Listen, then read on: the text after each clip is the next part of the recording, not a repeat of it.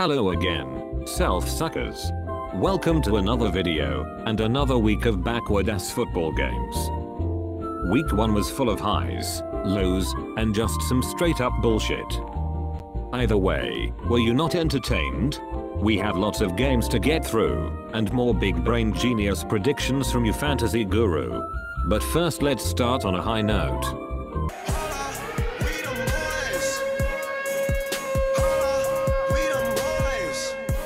Our Dallas Cowboys absolutely curb stomped the New York Midgets, embarrassing their entire franchise with the biggest blowout in this rivalry's history. Fucking eat my asshole giants. We them fucking boys, and y'all them fucking nerds. New York may never forget 9-11, but they will certainly want to forget 9-10. A Cowboys victory makes us all winners. Well, kind of. Let's take a look back at our week 1 matchups. What a fucking way to start the season. Just a perfect example of the bullshittery that is fantasy football.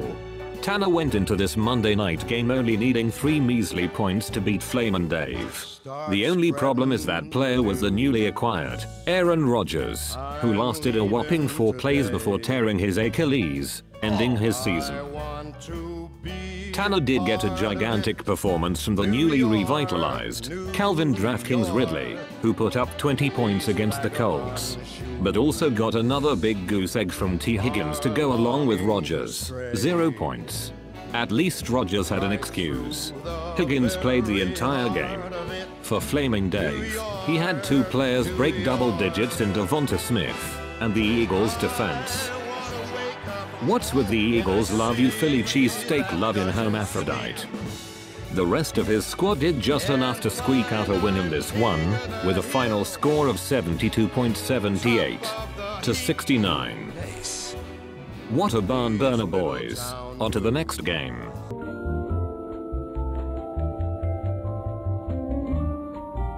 This game featured some key players from the Chargers and Dolphins game.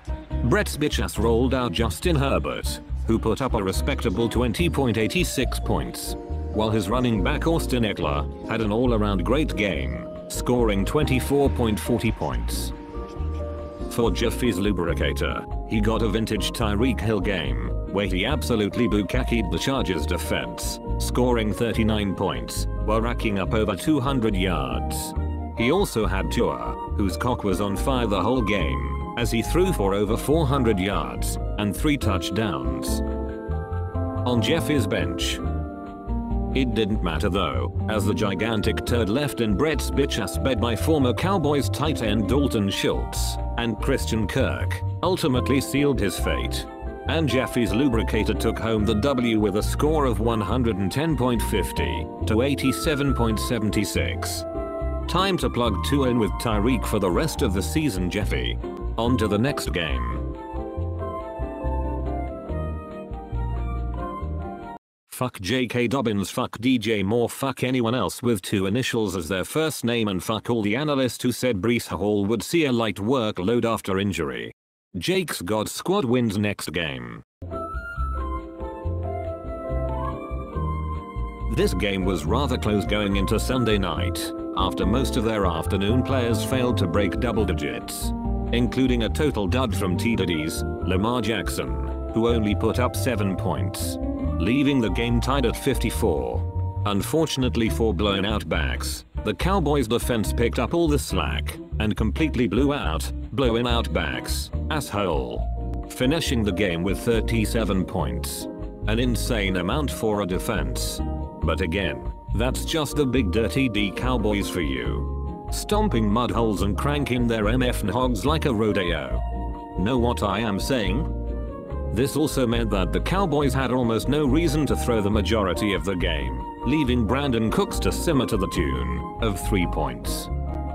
The game was further put away Monday night when Josh Allen balled out with a stinky pile of 12 points in a loss to the Zach Wilson-led Jets Fags Fags Fags. He did however, do enough to help out T Diddy as Stefon Diggs put up 21 points. T Diddy Kong Racing ended up taking home the win, 124.56 to 69.34. and has also received the prestigious award of Blowout of the Week. GG's nerds. Next game. My AI systems know a stinky game when it sees one. And this one is definitely going in the shit folder. For Jakeoff all day, Russell Wilson was. Well Russell Wilson. He cooked up a boring ass half-baked game, while serving up a helping of 15 points, leading his Broncos to a season-opening loss. It didn't help that the rest of his team underperformed about as bad as Jake in bed after 10 Miller Lites. Except for Jake Elliott, who put up 18 points against the Pats, and was Jake's MVP. My nigga. For Buckerson and Myers, his biggest contributor was Aaron Jones, who reminded the Bears that they are still the fucking Bears, and scored 25 points in a Packers victory. He also rolled with Dak Prescott who, once again, did not have to throw the ball at all since our defense's foot was planted firmly in the Giants' ass so he was only able to pull out 6 inches in this game. Which is higher than average if you ask me. Buckerson was still able to squeak by Jake though, and take home a W, with a final score of 83.22 to 76.38. At least you got to experience your first loss of the season in style on a nice beach in the Bahamas Jake. Now that's how you lose Pobby. Next game come on.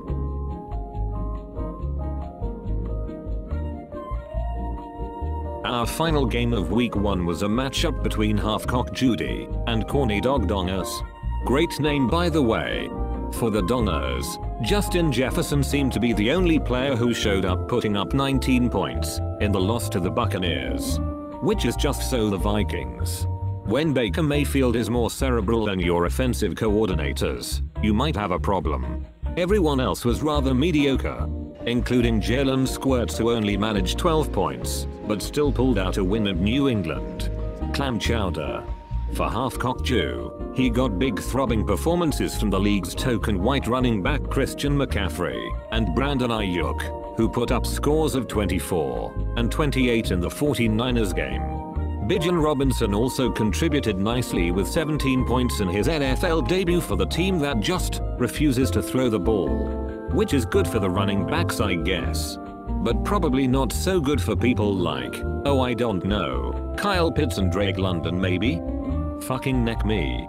Half-Rocks Jews brings home the W in the dismantling of the Dongers, with a final score of 125.54 to 80.30, which is also the highest score in the league for week 1.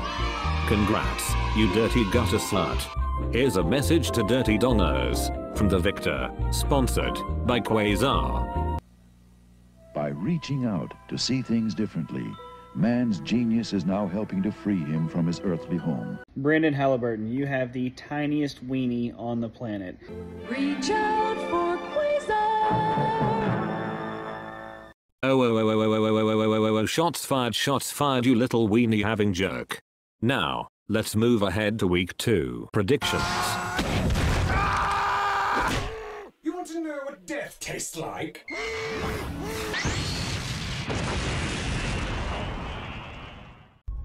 In the book of Genesis, the story is told of two brothers, Cain and Abel.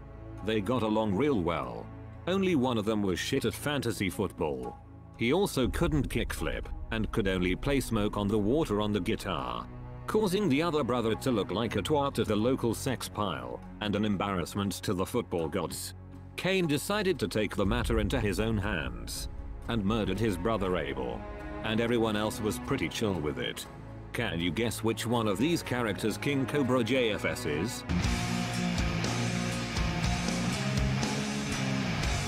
King Cobra JFS is going to vibrate his cells at an unfathomable level and transcend into the fourth dimension, where his chakras will align, feeding his third eye to see all moves you can make. This is chess, not checkers.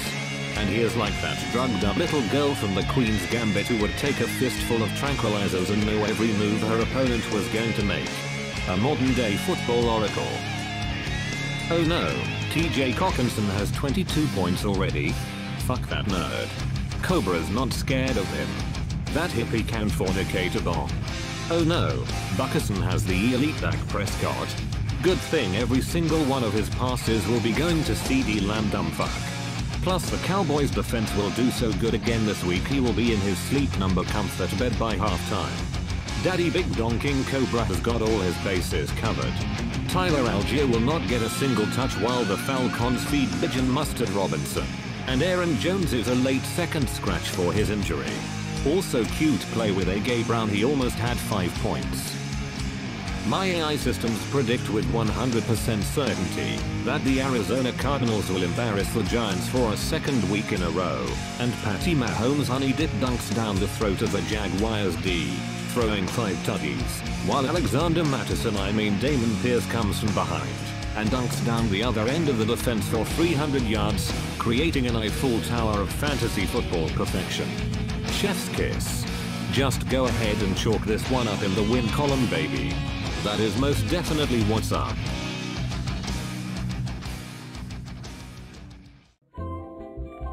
Now that the important game is out of the way, here are my predictions for the rest of you losers.